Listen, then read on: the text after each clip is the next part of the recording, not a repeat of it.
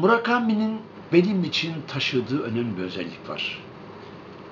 Masalla gerçeği bir arada öylesine anlatıyor ki insan bu gelgitler arasında hem kendini tanıyor, hem dünyayı tanıyor, hem bilincini anlıyor, hem de bilinçaltının dehlizlerine iniyor. Asla tabi yüzyılın yazarı. Çünkü bugün insanlar çok karmaşık bir ruh haline sahipler. Teknoloji de bunu etkiliyor, hız da bunu etkiliyor. Ama bunun dışında vazgeçemediğimiz insanı insan yapan bir takım özellikler, saplantılar, nitelikler var işte. Murakami bunları çok iyi anlatıyor.